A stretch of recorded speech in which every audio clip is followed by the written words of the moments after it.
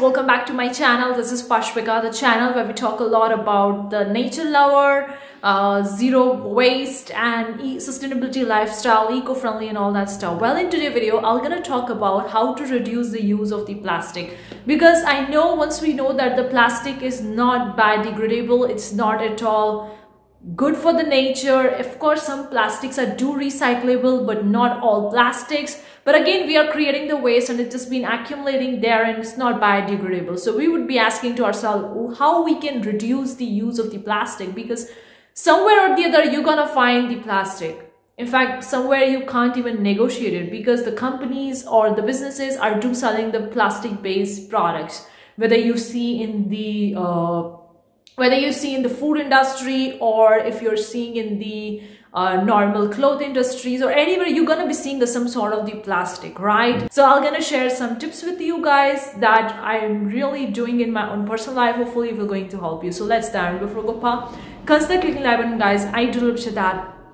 If you want more such video consider subscribing. Hit the bell icon. Whenever i'm gonna upload new videos you're gonna get notified about it. Would very well grab the sustainability planner or eco-friendly planner workbook that will going to help you become more eco-friendly. It's a PDF download. You can download it. You can fill it out on your screen. The link is in description box below. You can also visit our website, thenaturelover.info. The link are is in description box below. With the first thing first, there are could be a lot of the ways in which you can reduce the use of the plastics, but I'll share some tips. The first tip I have for you is to whenever you're purchasing something, always read the description of that particular product or the ingredients how it's actually being made, whether you are actually purchasing a cloth or a piece of an art or a food material or for industry like for any other purpose whatever product you're purchasing purchasing just read what exactly it's been made from.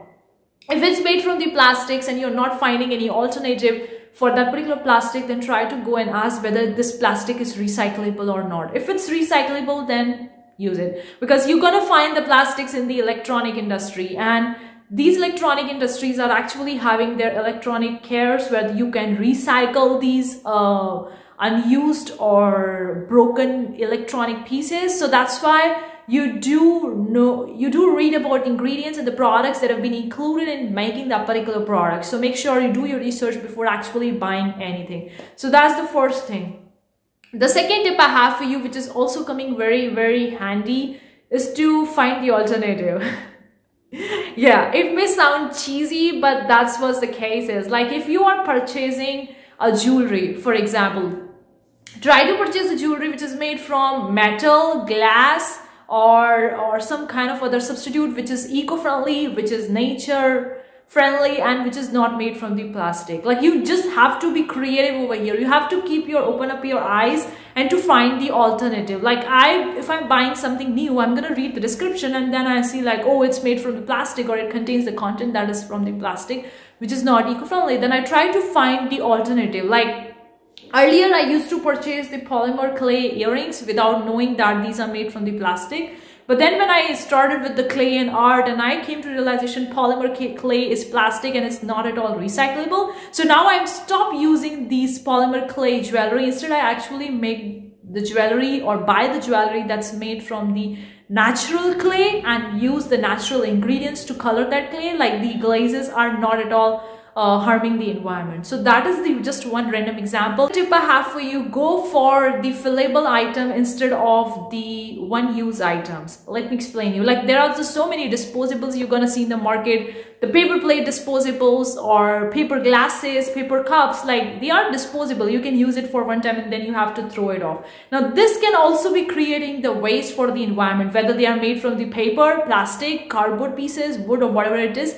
Again, it's also creating the waste and we are eco-friendly so we have to reduce the waste as well. So try to go with the items or with the stuffs that is are fillable. Like right now you could see a lot of the items are available in the market that you could use and they can be filled like a water bottle. Take an example of the water bottle. If you're purchasing a packaged drinking water it's made from the plastic and some of the plastics in the uh, water bottles are do recyclable but again you're creating a waste right? You're purchasing one plastic bottle drinking that water and then throwing it off then so on and so forth so you're creating a waste. So instead of that have your own water bottle or have your own container where you're filling the water. Simple. So try to have the containers or the items that you can use to actually fill them again and again. You can reuse them again and again instead of actually throwing them off like a one use product. Have for you to find the recyclable unit near you. Now that would be a little bit tricky because depending on wherever you're living, you might be having a recyclable unit in your city, near your house, or it would be in some other city, in other state or in other country.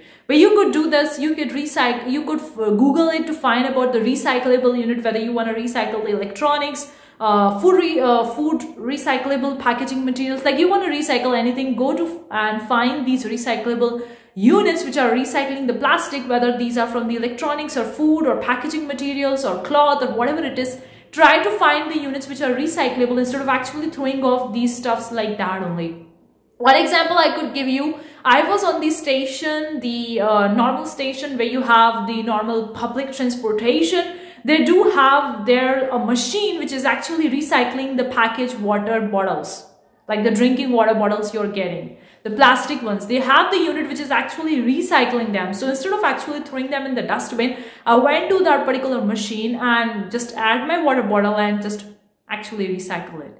So that was just the example. You could be doing it. You have to be more creative and googling it and find the recyclable unit near your house or in your city, in your country, in your state, whatever. What I have for you is upcycle the stuffs. Like if you're having an old cloth or old piece of art or anything that is old or broken that you're not using right now, try to upcycle them. Like I want to give you one example over here. I was has, having a broken crockery. Now you would be using the crockery items, the pottery items in your day-to-day -day schedule in your kitchen and you would be ha having a jewelry from that. If it's broken, try to take that stuff off and actually make a jewelry from that or actually decorate that piece of art and hang it on your wall. Like try to upcycle these stuff into beautiful pieces or beautiful materials that you could very well use in your day-to-day -day schedule instead of actually throwing them off. This could really come handy especially if you're having an old clothing which you're not wearing. You can give it to someone who could wear or you could upcycle them into something different. Like I upcycled my old skirt like I upcycled my old shorts into a skirt. I upcycled the old clothing into my tees, into my camisole. So there could be a lot of the ways in which you could upcycle and that's really a fun and creative DIY projects. You could Google it, you could watch the YouTube videos of people upcycling them and showing you how to do that. Or you could find, um, if you have a kids, you can very well take the help of the kids and tell them to upcycle them the way they want to.